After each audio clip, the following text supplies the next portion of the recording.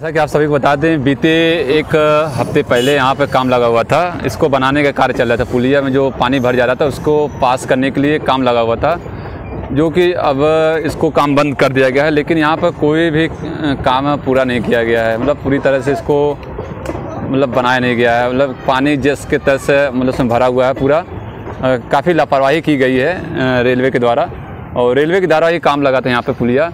ये आप लोग देख रहे होंगे जो जौनपुर जंक्शन से आप सागर इस तरफ़ आएँगे तो पुलिया पड़ता है। दो इसमें नया पुलिया जो बना हुआ है, जैसा बता दें। और ये पुराना पुलिया है, आगे एक नया पुलिया, जो बड़ा पुलिया बना है। तो चलिए अभी हम अंदर चलते हैं, देखते हैं यहाँ पे काम बहुत ही बेकार हुआ है, जैसा कि बता दें। क्योंकि पुल में, पुलिया के अंदर काफ़ी ज़्यादा पानी भर गया है तो इसका निकासी के लिए कोई व्यवस्था नहीं किया गया है, जैसा बता दें। अभी हम देखिए उसी के माध्यम से अंदर जा रहे हैं। और यहाँ पे हारन बजाने में काफ़ी गूंजता है जैसा कि बता दें। हद तक इसको देखिए नाली बनाया गया है नहीं बनाया गया अभी हम देखते हैं। आ, कोई व्यवस्था नहीं की गई है। मतलब नाली कोई बनाया नहीं गया है यहाँ पर। जैसे पहले था अभी भी वैसे है। जैसे बता दें हम आपको पुलिया के अंदर में है जैसा बता दें आपको। पुलिया के अंदर का स्थिति है ये आप लोग देख रहे होंगे। कोई भी बढ़िया नहीं है, ऊपर आप लोग देख रहे होंगे, नया पुलिया जैसे बना है, ये नया पुलिया बना है तो यहाँ पर पानी भर जाता है। तो हम उम्मीद करते हैं कि यहाँ पर नीचे नाली बना दिया जाए, पास पानी पास होने के लिए यहाँ पर नाली बना दिया जाए, क्योंकि आवागमन में काफ़ी दिक्कत हो रही है। आगे आप लोग देख रहे हैं जो पुरानी पुलिया है, उसके नीचे काफ़ी ज़्यादा पानी भरा गया जैसा बता दें।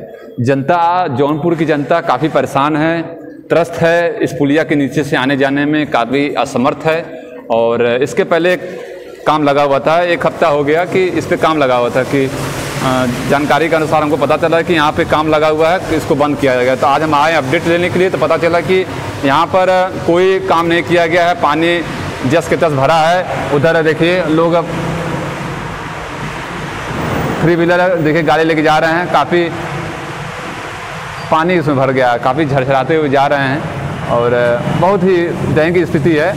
यहाँ पर पुलिया बन गया है, लेकिन उसका पानी निकासी के लिए कोई व्यवस्था नहीं है। तो काफ़ी निंदनीय है, काफ़ी व्यवस्था सुचारू रूप से नहीं चलाई जा रही है। तो हम उम्मीद करते हैं रेलवे के तमाम अधिकारियों से कि जो पुलिया नया बना है, उसके नीचे पानी निकासी के लिए उत्तम व्यवस्था करें, नाली बनाएँ, ताकि आवागमन में दिक्कत कोई ना हो।